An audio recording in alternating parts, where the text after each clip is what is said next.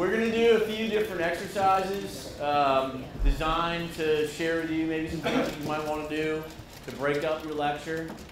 Um, and so one of the things, uh, I'm not going to go over an exercise first. On page, I think it's five or six in your guide, there should be a something called discussion questions, right? It's uh, page five. Just take a moment to read that for a second, and I'll explain why it's why it works. Uh, it is uh, pretty effective for a variety of reasons.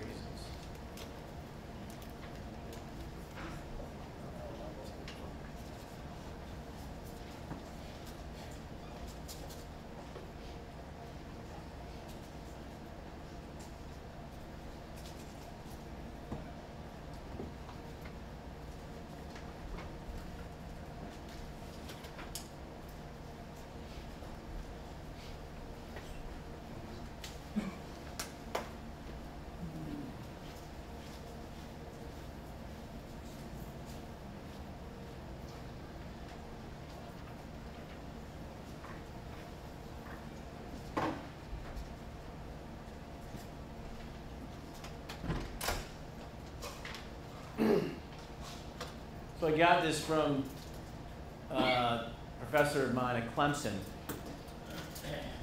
Dr. Maker, had it for four classes, four different classes. Um, and each one, he had the same participation grade. It was worth 10% of our grade, and that's this is the way it worked. You, you came in, and if we were going over material, let's say we were going over something um, by Aristotle, Socrates, or whatever we were studying in terms of philosophy. That particular day, we had a reading to do. We could put a question up on the board before class started, and we put our initials next to our question. We had to have so many questions by the end of the semester in order to earn the perfect score. If we had less than that, then we would get, you know, of course, the same thing as up here.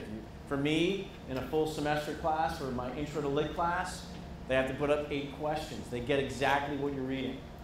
We go over it the first day. This is one of the little things that Falana was talking about before, going over the procedures of class, right? Here are the expectations. And so this is what we do. If I've got a student who talks a lot in class, has a lot of ideas, and puts up no questions up on the board, it's out of my hands. That's a zero. Participation. It also encourages reading to occur. If you, you know, a lot of our students don't want to read before class, this encourages that. Does it mean that they're reading the entire chapter? Not necessarily. For me, with a short story, they're likely going to read it because they, you know, in order for them to put up a question on the board, they've got to read it. Sometimes they don't. But um, this is what it looks like. So what it looks like in practice being that we don't have a board. I just used a Word file to show you what that might look like. So there's a story called A and P. Okay? And that's something that once in a while I will assign. And here are some common questions. So the students come in, if my class starts at 9.30, they get there before 9.30. I give them a little, maybe a minute or two. But after that, that's it. I'll announce no more questions. If, you know, someone might walk in. I'm like, no more questions now, we're done. And so here are the four that I have for this class meeting. Why does Sammy quit? Ward put that up here. Is there something symbolic about the herring snacks the girls buy? Vanessa put that up here. Why does Sammy think his life is forever changed after he quits? DL, David. What's the significance of historical and geographical setting is Brandy. So they came in class, they put them up on the board. I start, I check off, they got it. I use these questions to then toss back to the students, put them in small groups, they discuss, and we go over the, the story. So if James comes in and he, he comes in after Brandy and he puts the same question up there, because I usually have a, I usually have a board of like 15 questions. And I'll come to once in a while, get you know, their same question. I'll say, who put it up here first? Who was here first? I've never had a fight break out. You know, they're usually pretty honest. I'm like, James, and just make sure you look at what questions are up here next time you get another chance to put the question. Okay? And, and they can't come in the last day, we're going over stuff and put up eight questions. It's not the way it works. It also encourages them to get, get there on time because they know that there are points that are associated with it. So I, I just thought that you'd want to know something about something like that. It's pretty easy. You know, you can always modify it if you would rather also, let's say you want a participation grade to be worth 10%. Maybe five could be the questions, and five could be your subject, really is a subjective opinion. Um, personally, I'm, I think it needs to be more objective. All right, any questions about that? Yes? Do you have any creative ideas if we are unable to give any kind of grade? Any, you're, uh, meaning you're not able to give any grades for it? Well, I mean, you could, maybe some extra credit for tests. I mean, No, do that. Can't give extra credit. what do you teach? That's Um, maybe it could be, you know, I don't know what your rules and regulations are for that. I was going to say a, a missed homework for a number of questions. Yeah, I mean, you're, it's nursing. You're very special. Um, can't give extra credit. Get rid of a tardy, something like that. Get rid of a tardy. Give him an extra absence. I don't know if that's. No, no. Maybe one day they can wear flip flops to clinical.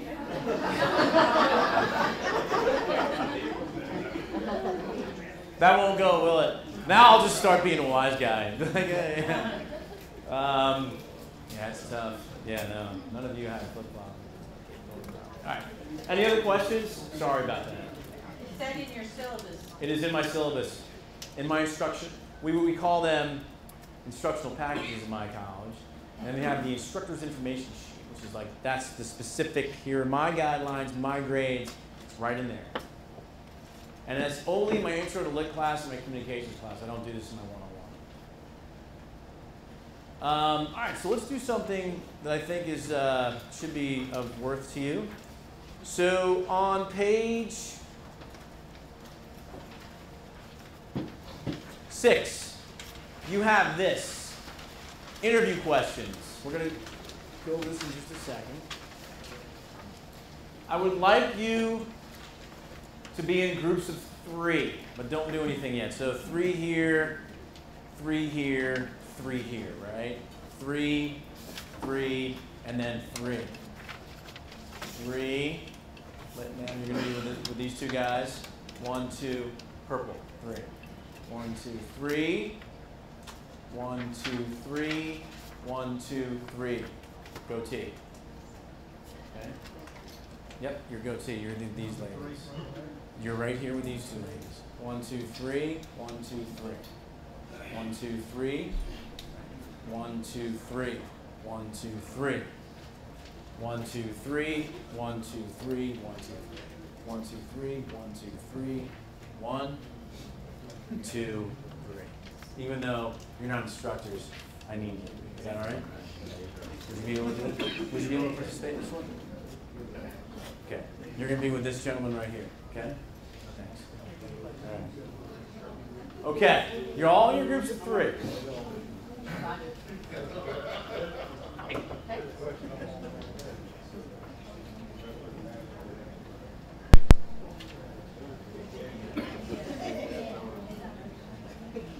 All right, so you three are in your, you're in your groups. One of you will have the answer key.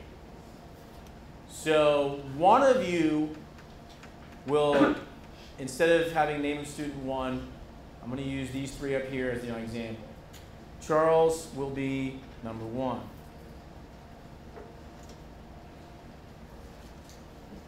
Is it Vanessa? But it's spelled differently. Okay. Vanessa? Vanel- Vanelsa. I do pronounce the L. Vanelsa and Ward. So one of you will have a sheet, right? The rest of you don't need it. One of you will have the sheet with the three names on it. Okay? So do that now. Decide who's going to have the answer key. Okay. So, in each group, there's just one answer key that's being used. I just went around at least one side of the room. So it's not like there's multiple answer keys. So if you are, you should, there should be two people that do, don't have an answer key. Just fold your, put your paper away. Don't want you to write down anything on it. You know, there's one answer key with the names. At this point, it should not say name of student one. It should be a name. So Kayla, Daryl, and Ellie, right? Or, oh, you, what? Oh, you're this way. Sorry. Now I'm confusing everybody. All right. So this is the way it works. And by the way, like right now, this is the first time that you're doing this, so it's going to be you know somewhat difficult, right? But if you start doing this in at least like every class or every other class meeting with your students, they get used to it, and it's like, okay, we're gonna do numbered heads together. You know, take out a sheet of paper, get in your groups, take out a sheet of paper, one sheet of paper, and you do this, and um, you go from here. So the way it works is, you've got your names, you've got your numbers. You, the instructor, this time it's me. You're gonna ask a question about something you need to go over that day, right? So if you're teaching nursing, it could be, uh, give me a topic you teach. COPD. What? COPD and, and how to provide care for that patient, right? So COPD. Um, and you're going to ask a series of questions. Let's say just three questions. So you ask a question, then you then give the students time to talk to one another in their groups, right? But just in their groups. You give them about three minutes, and then at the end of that three minutes, you then will get their attention by clapping or turning the lights off or doing something to get their attention. Get them to stop talking, and you're going to ask the question. Or not, uh, sorry, then you're going to call out a number. At that point, whatever number you call out, that student whose name is next to that number takes the answer key and writes down the answer. The other two remain silent and don't write down anything. Give them about a minute and a half to two minutes to write down the answer. You get their attention, you move on to the next one. So let's go over this together before we start. What happens first? What do I do? I ask a question. What do you then do in your groups? Good. Does anybody write anything down? No. You're just talking about what you think the answer is. What happens after you're done talking? Right. I then get your attention and call out a number. There's no writing until I call out that number. The answer key then moves to whoever number I called, and then what happens? That person writes down the answer. What do the teammates do? Nothing. Then what happens?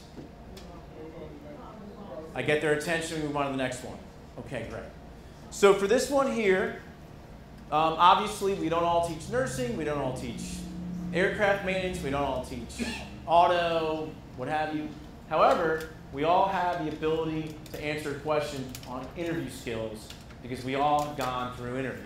We're all professionals. That's what we're to do. So I'll start out with the first question. You have decided to apply to teach at a different community college. It could be Mississippi, it could be Kansas, it could be South Carolina, but you know you kind of want to move on, check out somewhere different. And um, you, you get a call for the interview, you go in, you do your teaching demonstration, and then you sit down with a committee of people and they're asking you questions about your industry experience and your teaching experience, and you're there for an hour and you're sweating it out, and then they're, they're done. And then they say to you, Do you have any questions for the committee? What I want you to discuss with your group, come up with an answer is what is one question that you should not ask, and why should you not ask it? Go. Okay, time's up. Time's up. We're going to do, ready? Number three. Three. Now, all the number threes, take the answer key. Don't forget your question you have to answer is what should you not ask and why? Go. Everybody remains quiet. Okay, so you're answering the question on the answer key, number one. Give you guys another 30, maybe 15 seconds, and then we'll move on.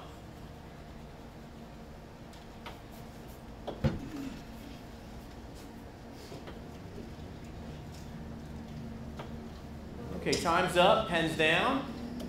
We'll do one more question and then we'll go over the process.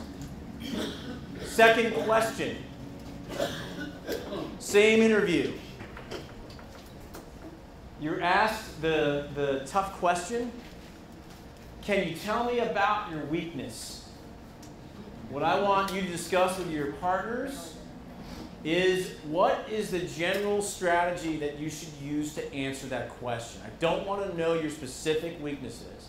I want you to talk about what you think is a productive and effective strategy to answer that question in general. In other words, how do you answer that question? Go. Yay! Time's up. Time's up. Now I can go to number three again. I can do that, but I won't. Let's go number two. Go. Answer key goes to number two. Number two is now writing the answer down. The question again is what is the general effective strategy to answer the question about what your weakness is? What's the best way to answer the interview question, what is your weakness?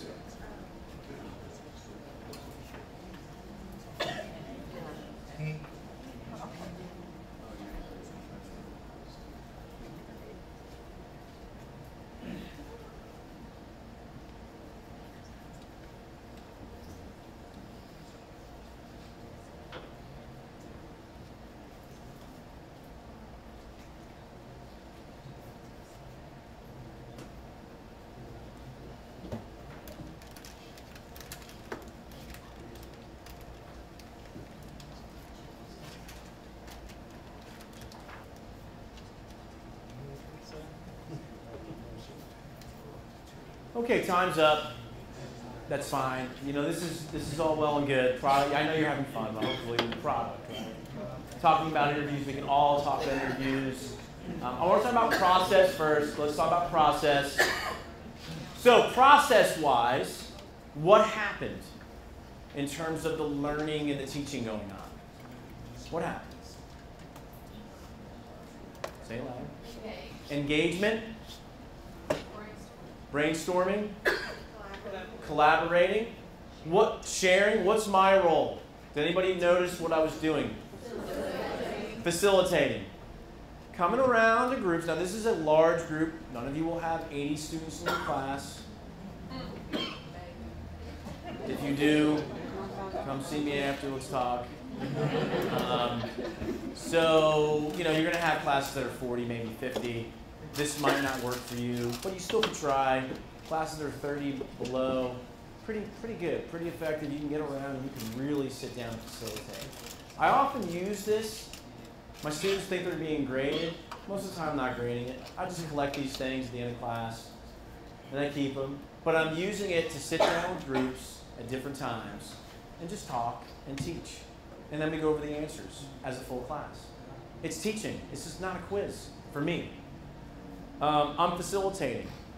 Checking in on the answers up here. I sit up the first row with that first question about what question you shouldn't ask. I got to a group back here that said, We know you shouldn't ask this question, but we don't know why. The second question, I stayed with this group right here because they had a, a really good answers, but a little bit different, and I wanted to go into, okay, what do you think? Why do you come up with that answer? It's facilitation. So, in terms of that first answer, you know, the groups that I heard all were saying pay. You don't ask about pay. Now, this group right here, all three of them said you don't ask it, but they like, I just don't know why. I don't like it. They disagree with it. Anybody else feel that way? They, they disagree with that? You should, you should be able to ask about pay? Right. It's, but you shouldn't. Right. Oh, raises, right, right, right. Yeah. And here's the thing, like, and I do the same questions with my communications class. I'm going to start teaching on this class August 26th. I think, yeah, I think they're Monday, Wednesday time. And, and by September, second, third week of September, we'll be doing the same activity, and I'll be going over this with students who are, you know, 18, 19 years old. Some of them will be in their 40s, but most of them would be Generation Z. They've never really gone over interview skills before. They've not gone for a formal interview. So I have to talk about this and get them to kind of see that. most of them will not come up with pay. And so that's the way I teach that, and we talk about it. Yeah, it's in the textbook, because you said you teach the career development course, and it's in the textbook. Don't ask about pay, so we got to go into reasons why. The second one about weaknesses, yes. The reason why? Yeah. Did who? Did they come up with the reason why? Yeah. What was your? Each group came up with a reason why. I hope that was the question. What'd you come up with? Why should you not ask about pay? Comes up during a contract offer. It come, and also a lot of people say it makes you seem money hungry. And the answer I tell students is, you haven't been offered the job yet. When you're offered the job, that's when you negotiate. If you've already spent the time creating a cover letter, creating a resume, sending it in, getting ready, prepping for the interview, driving to the interview, and then interviewing, what's the point of asking about pay at that point? You've already spent all that time and energy. Just wait till you get to the negotiation period. You know, that's really what it comes down to. In addition, I asked you guys a question about specifically applying to teach at another community college. Information's already out there. Mm-hmm. You can go look at the state pay band for that particular instructor position. I mean, so I wanted my students to be aware federal and state jobs are always, the salaries are published. There's a band, and you can find it out. If you don't want, if you look at that, the day that that job uh, uh, opening comes out, and you decide that's not going to be enough money, then don't waste your time. You, know? you can also do research with salary.com, the private sector. In any case, the other one was, um, you know, how to answer the question, uh, what is your weakness? What's great is that these guys back here have good answers. We had um, Haley.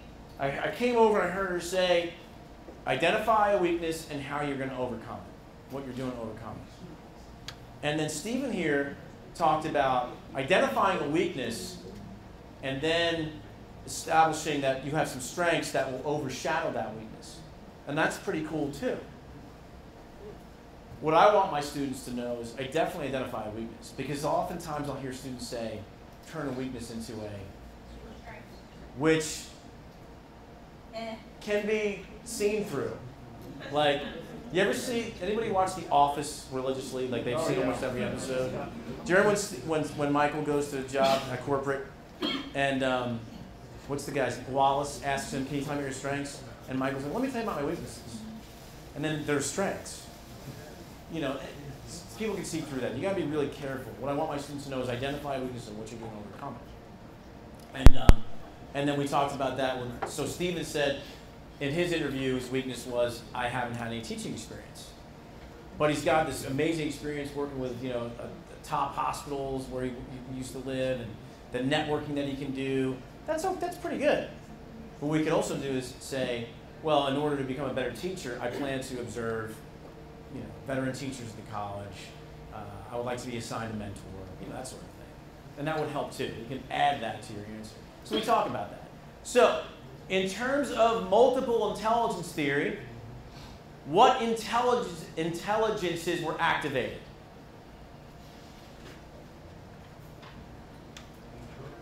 Inter, when you're talking, and intra, when you're thinking and sitting. What else?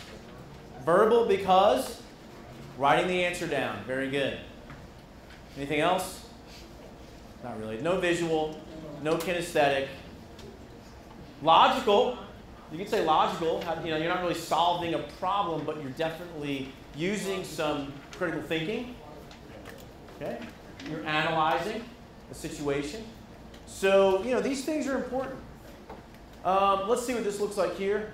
This is a, a video of um, a high school class doing the same thing. By the way, if you, you, if you YouTube search term number heads together, thousands of videos will come up.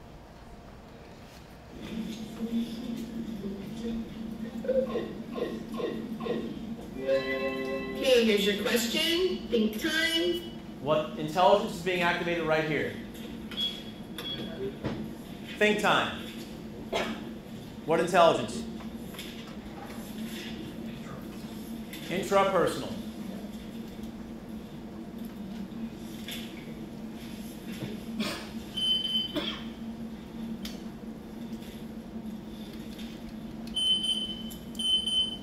Write your answers. What intelligence? Verbal.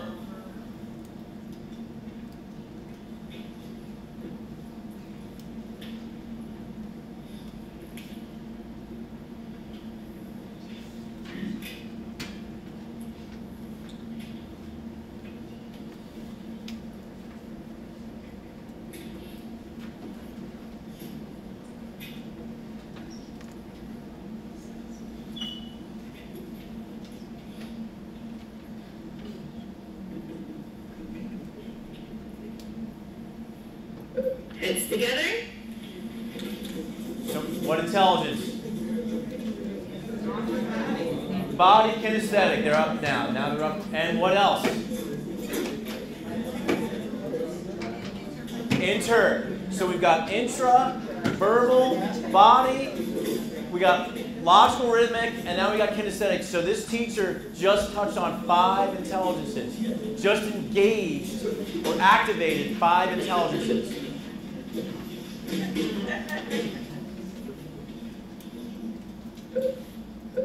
Oops.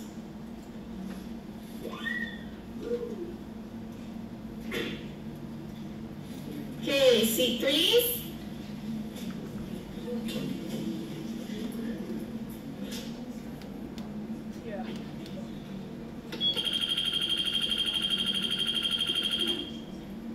Team eight. Good job.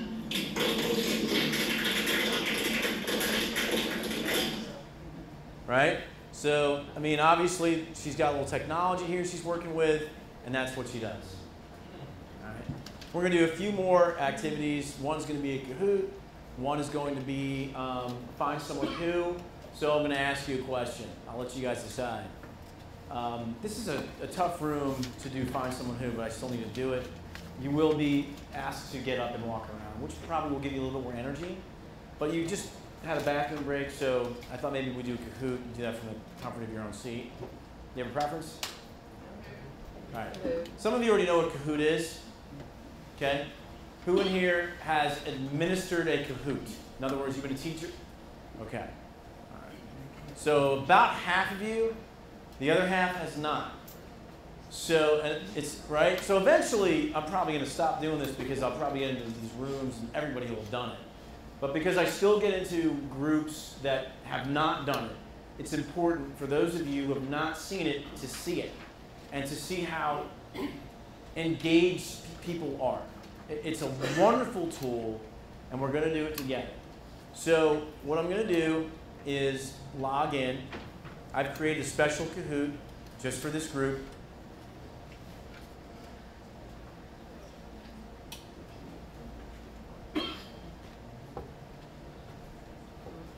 This is free.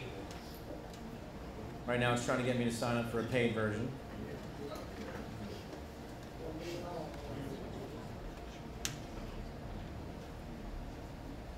So, here's what we're going to do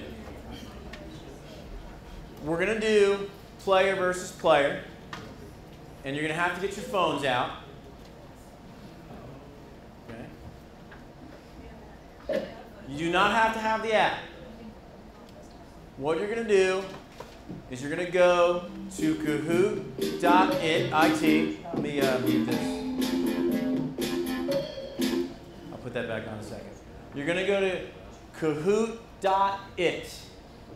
K A H O O T dot I T.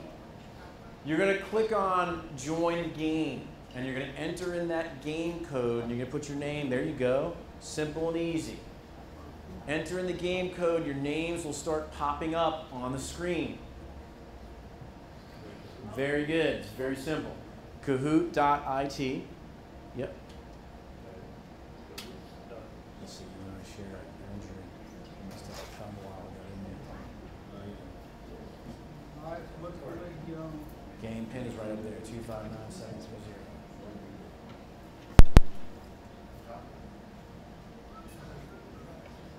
Now let me know when this, um, if you're not able to get on.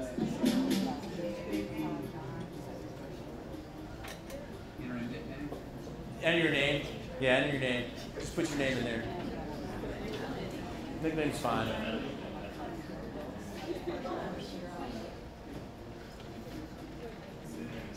So I think I'm pretty sure the free version I'm capped at 50. I, I, I don't do this with large groups like this too often. I don't know. I'm going up above it. Cool. We do this at, um, that, um, uh, like, the orientation stuff, we have a whole lot of work. And it's free? They have it free? So it's going up. That's great. That's great. Hey, this will be this will be fun for you guys. I trust me. It's not going to be boring. I have stuff that's very related to this state.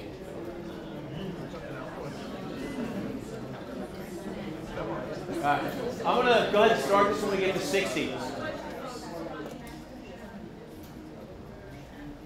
right. So let's so so let's. I'll go ahead and answer these some of these questions now.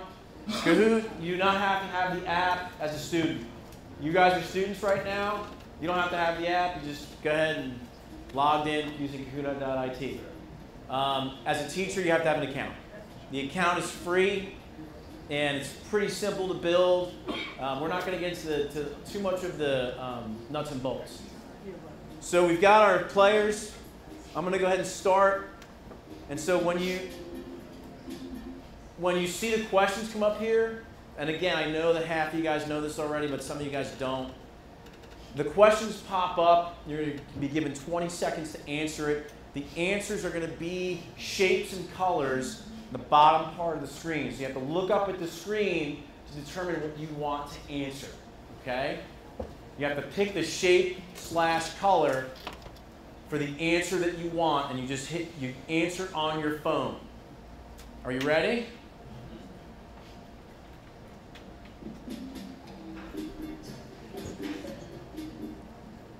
Here we go. First question How many representatives serve in the U.S. House out of Mississippi? One, two, three, or four?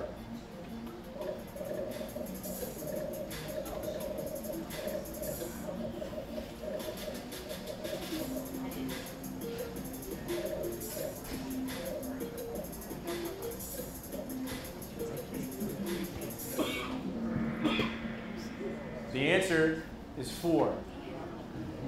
So, so right now we'll go to another screen. The next screen is going to tell us who's in the top five. Nick J knew that right away. Joe, Nessa, and then JCN and Dr. AMT. And this, what you'll see is it's pretty competitive, right? We're gonna, you know, I don't have any rewards for you. I, I, we have lunch. Free lunch. All right. Ready? Next one. In which year did Mississippi join the Union? The first time. 1817, 1832, 1809, or 1860?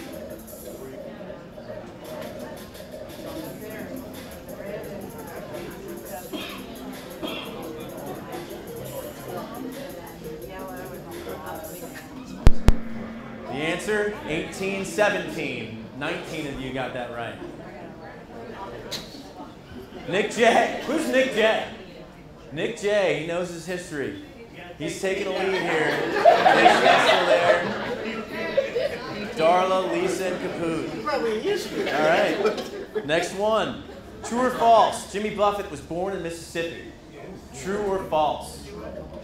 False is red. True is blue. Who is Jimmy Buffett?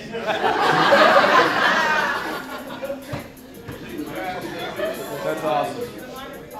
I'm not a big fan of Jimmy Buffett myself. The answer is true. Jimmy Buffett was not. A lot of people think he was born in Key West, like in Florida.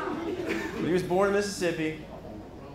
Let's see. Ooh, Nick J. He didn't know that one. Lisa's up. Kaput also up there. Next one. The Blank Mississippi All Stars is a band formed by the Dickinson brothers. Is it the North, South, East, or West? What's the name of the band? The North Mississippi All Stars, South Mississippi All Stars, East, or West?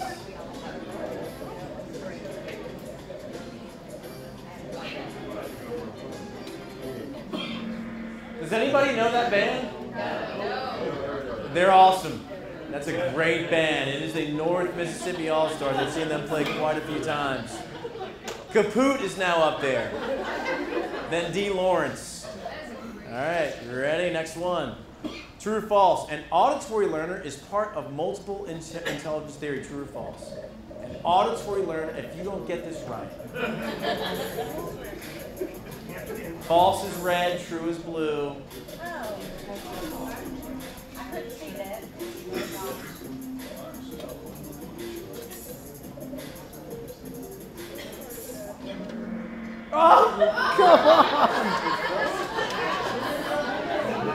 Multiple intelligence theory, there's nothing, there's nothing, there's no such thing as auditory intelligence. Okay? I'm hoping that you thought that true was red was the red one. Musical rhythmic is intelligence. There's nothing called auditory intelligence. Musical rhythmic, think about this. They, you, auditory is hearing. Auditory is hearing. Musical rhythmic, you can be creating your own lyrics to a beat. So it's not really auditory, it's, it's musical rhythmic. You can think auditory is part of it, but there's no such thing as auditory intelligence. Like, think about this. This is a good question. Ward asked a question here. Back in the day, before 1983, and before the 90s really, because multiple intelligence theory took a while to get accepted by the educational community, people thought of people learning, or educators thought of as a VAK method, visual, auditory, kinesthetic, and then tactile as well. Multiple intelligence theory expands that and sort of puts that all to the side. So there's no such thing as auditory intelligence. Musical rhythm could incorporate that, but it's also being able to put something to a beat, right? Put something to a song, which is you're creating with words. Okay? Good, good. We'll have another one in there too, probably thrown in. A visual learner, true or false, is part of multiple intelligence theory. Is there something called visual intelligence? True or false?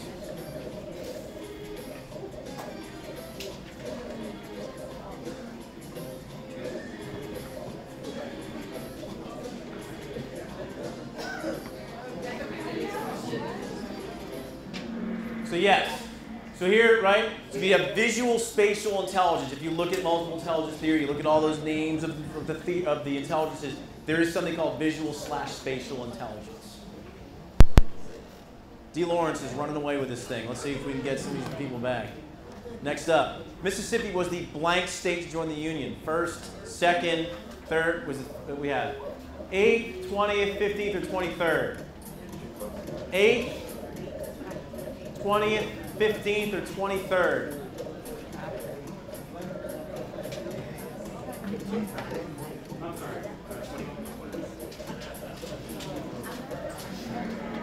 So the answer is 20th.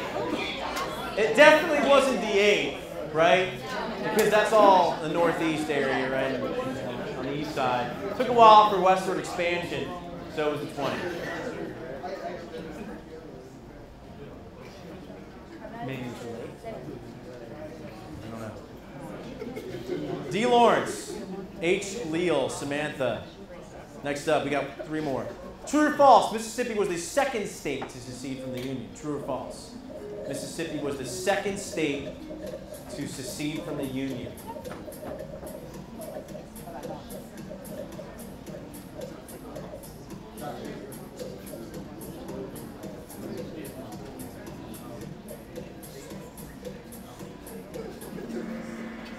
True.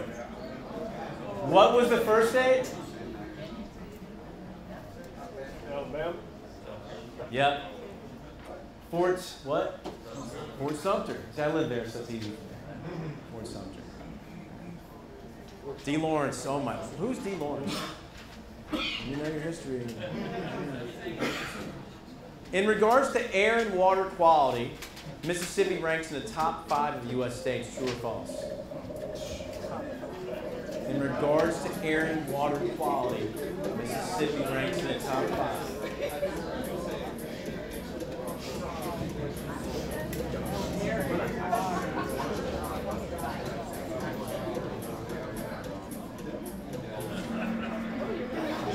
The answer is true.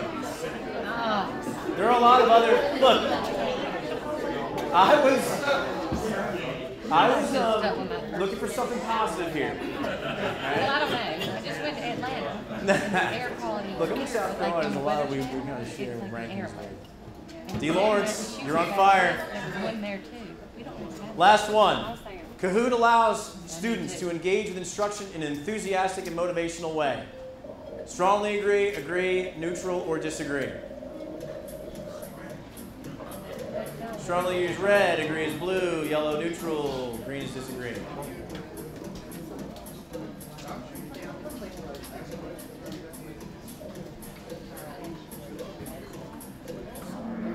So, I just gave out to choose an answer. I'm glad. I'm glad that we have you know 57 of you that chose strongly agree or agree. Um, for those of you who disagree, you know I'm not really sure why, but but it, I've used this before with my students. I will continue. I don't use it in every single class, but I definitely bring it out in certain classes. Um, especially my English 101, I can share with you what I do in there, but it's a pretty good little tool. Um, obviously, D. Lawrence wins that one, and uh, Samantha and Kaput came in um, second and third. Uh, I want to show you, for those of you who've never seen this before, you can get results. So you can use these results for your informal assessment. I'm going to go ahead and download it and see, just to show you what it looks like. And here they come. It's a nice Excel spreadsheet. So you can see both question by question and, and whole the whole thing, how they're doing.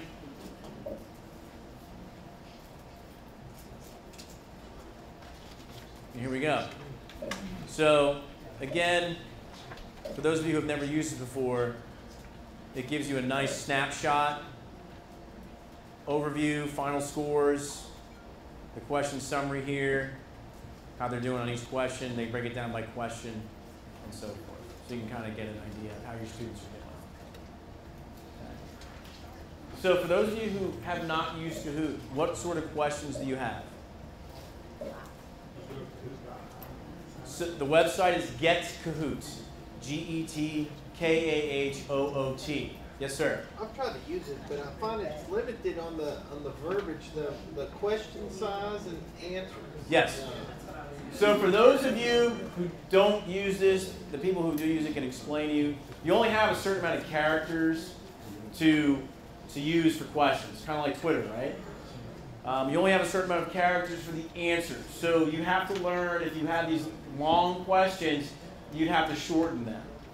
Okay? You could put pictures in, as you saw, like, you know, identify what this is. So if you teach aircraft and you have a certain tool you think they should know just by looking at it, what is this used for? Or what is this tool called? You know, there's a lot that you can do. Um, other questions you have, for those of you who have not used it, So instructor goes in, signs up for, like you gave us this pin, you're gonna give a pin, and that's. Great. uh, the instructor. So with each game that you play, it just makes a new pin. So you'll you'll you have your you have your games, right? Let me go ahead and go to mine.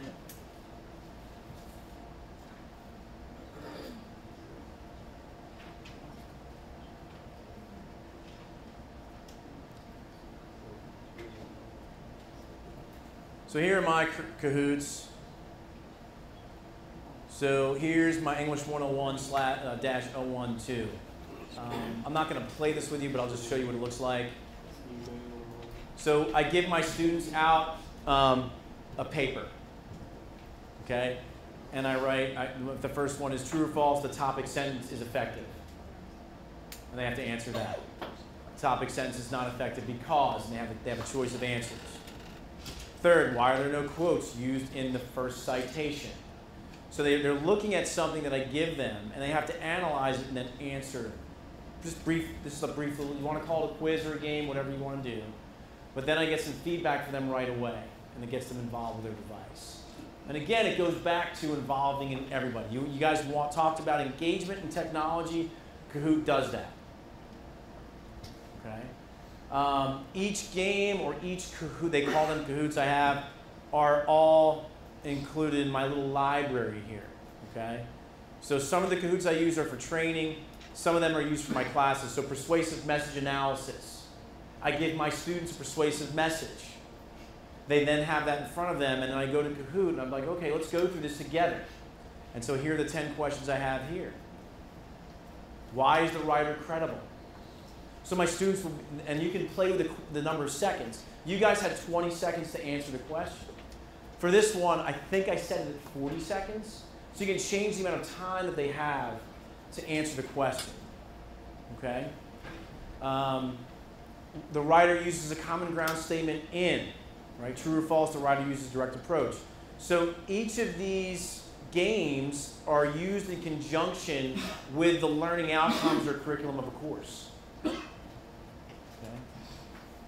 This one right here, this one is, is one I'll, I'll just my last one I'll just show off to you.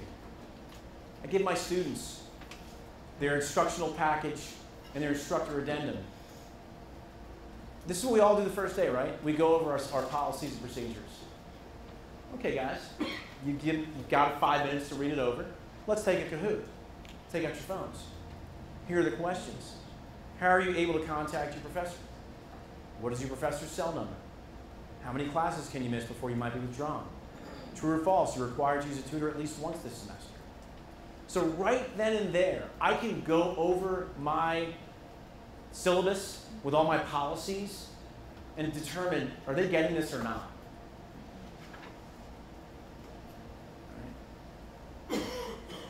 Any Once you build it, it's there forever. once you build one, it's there forever. Private or public. You make it private or public. Now let me. Let, you bring it up public. There are other Kahoots out there that are public.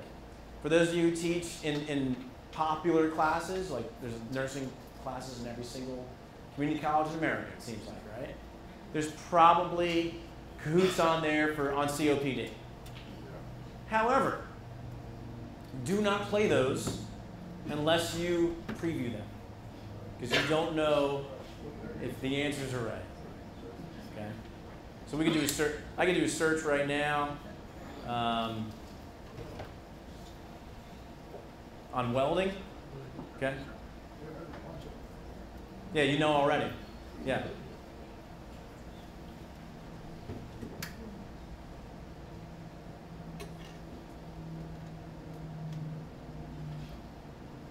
Oh Lord. I don't. I don't use other Kahoots. Is it discovered? Thanks. Yeah.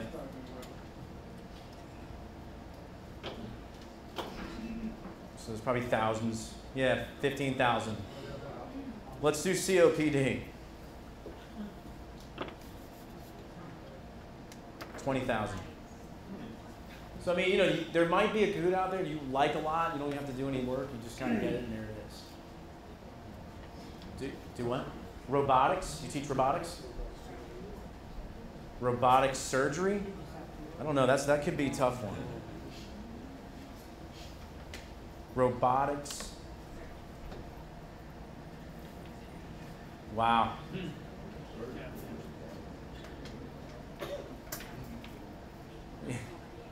You're great. Right. Any other questions? Okay. Real easy to sign up. You know, just simple, like to sign up for any other account. Um, that's it. There are other tools, if we have time, I'll share with you. Let's do something else. Um, I'm going to do something old school, um, which is the index card. So, a lot of my, all of my students, when they think of, of me, they probably think of, oh, yeah, the guy with the index cards. Because I use index cards throughout the semester more than just a few times. And these are like, you know, a buck. Walmart did a bunch. And so I'll, I'll hand these out. And what I like to do is just uh, make sure you just, can you hand those down? Everybody gets one. Okay? And I use index cards for a variety of different reasons. Okay?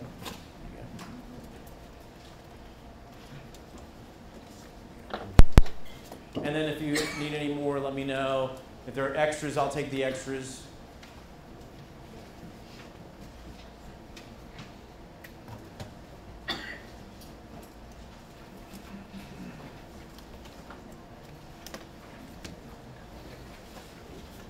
Thank you.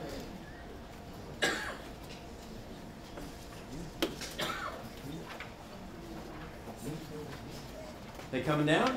You guys? Good? Good? Very good. I'll take the extras. Thank you. Thank you very much. Okay. All right. Here's your responsibility. Go to the survey, which is located on pages two through five, or two through four. Go to the survey, and I want you to write down, like, search for any statement that you put a three next to. Search for any statement that you put a three next to and then write down that statement on your index card. So all you're doing is writing down one statement that you put a three next to on the index card. Okay. Um, so here's what you're doing. Everybody write down a statement, right? This is called Find Someone Who. You wrote down your statement. Jeffrey wrote down, I like working with my hands at concrete activities such as sewing, weaving, carving, carpentry, or model building. Example. What he is responsible for doing is finding someone else in the room who also scored a three. He does not have to find someone who wrote down the same thing. He's going to find someone in this room that also scored a three on that statement. Again, you're not looking for a match, just someone else who scored a three. You're going to then write down the name of that person and the proof or evidence provided to you. So Jeffrey might find, I, I, that's not me. I really don't, you know, work my hands that much. Um, but let's say, you know, you do, right? Let's say you scored a three, and so he would say, "Oh, my name's James, and I build, um, I build antiques." You do? I work on, you restore antique cars. So I, that's it. So he put down James restores antique cars on a regular basis. That's what you're doing. Name and evidence. So because this room is kind of not really conducive to walking around, if you want to just kind of search around you, you can. If you can't find someone, then I'm going to ask you to find someone by walking around, okay?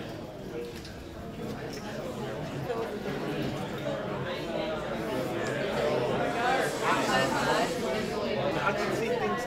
So let's talk about this. Um, first things first, let's talk process. Let's talk about the intelligences. Kinesthetic. Kinesthetic intelligence, was it or was it not engaged? Yes, or activated, right? I activated it, allowed you to engage with it. Interpersonal. Good. Intrapersonal, right? When you're thinking to yourselves about what you're going to use. Logical. Yeah, maybe. Verbal. Yes, because you're talking and you're writing down. Not musical rhythmic, not really visual, because I didn't have you guys draw anything. Okay, writing is different than drawing. So five of the intelligences were activated. Now, I could have done this, and typically I do this right after you do the survey, right? So think about if you're in grad school, or you're, or you're in undergrad, and you're learning about education, you want to be a teacher. No matter, anybody here take education classes? Okay, did you learn about multiple intelligence theory? Okay. What could you do? What could a professor do in terms of teaching multiple intelligence theory? What, what's a really easy thing for an instructor, for a professor to do that would be traditional teaching? Lecture. PowerPoint. And in fact, if I Google, and I've done this before, multiple intelligence theory PowerPoint, thousands and thousands and thousands will pop up. And more than likely, they've been used by professors that teach multiple intelligence theory with PowerPoint, and the students lecture, right? The students take notes. It doesn't have to be that way. Could be that you power, use PowerPoint or you lecture for maybe 10, 15 minutes, or you just start with this. Have them write down some statements, and you get into it. And now the, the, the, you teach, and you're like, okay, and this will be me kind of getting into it, just an example. Who wrote down something on their card from the body kinesthetic intelligence? Who wrote it down? Okay, great. What'd you write down? Um, I need to practice a new skill rather than reading about it or watching a video. Who'd you find? Uh, Jamisha, right Jamisha. Okay. What what did Jamisha tell you? What was the example that she gave to you? Well, she's a dental assistant, so how she learns her job is by doing it instead of just. You always felt as a student that you would much rather work on someone to get the gist of what you're doing, right? And that's body kinesthetic, right? That's actual movement. That's how I'm teaching this, right? That's how I'm teaching how what that means in the terms of learning process. Let's do one more. Who wrote down something from uh, intrapersonal? Intra. You wrote down something from intra. What'd you write down? I consider myself strong-willed and independent-minded. Who'd you find? Okay. And what was the evidence that she gave you? Um, she lives in a household of five minute She was what? In a household with five minute Okay. So you're very independent. Do you find yourself like needing time away from those guys? No? No? Okay. That's good. I'm assuming it's your husband and your kids. Two roommates and then I'm having her from twelve to thirteen people. Okay. How do you rule with an iron fist? Um, I'm extremely spoiled, and if I don't get my way, know what's happening. Independent, independent. I'm trying to think of how that would work with learning. Um, all right, so you like you like things on your own terms in a certain sense. Okay. How do you deal with those two? you guys know each other? Um, me, another one from, let's say interpersonal. Interpersonal. Who wrote down something from interpersonal? You did. What'd you write down? Um, able to respond to setbacks. Oh, that's intra. Intra. That's fine. Who'd you find? Huh? Who, well, let's go to inter. Anybody write down something from interpersonal, where it's with other people? None of you wrote down anything from interpersonal? You did. Thank you very much for playing. What'd you write down? interpersonal.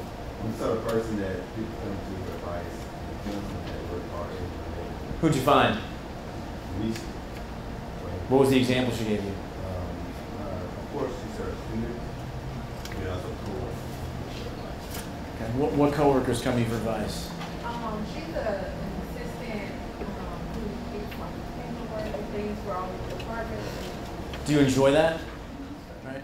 So people who enjoy doling out advice or helping other people, they, they're going to want to, you know, kind of get involved in class with other people because they that's how they want to engage in material. So here I am using this little activity to get people engaged, right? To get people into, um, and I don't mean engaged in terms of talking with others. Engaged meaning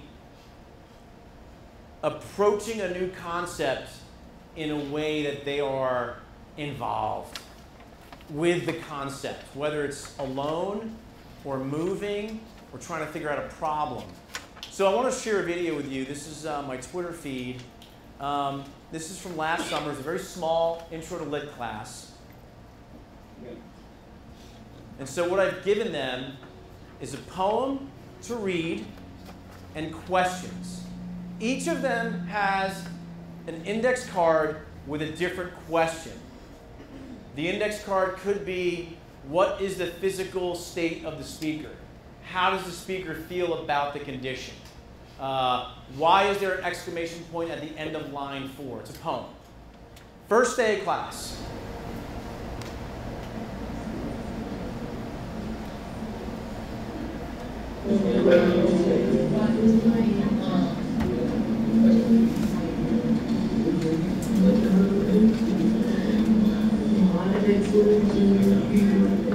If the person we're talking to doesn't know how to do it, can't do it, then, then get up and find someone else, okay?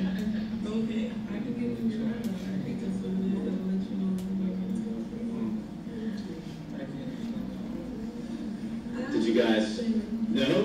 You better find someone else. You gotta find someone else. The, the name and then the evidence that's given, that's right.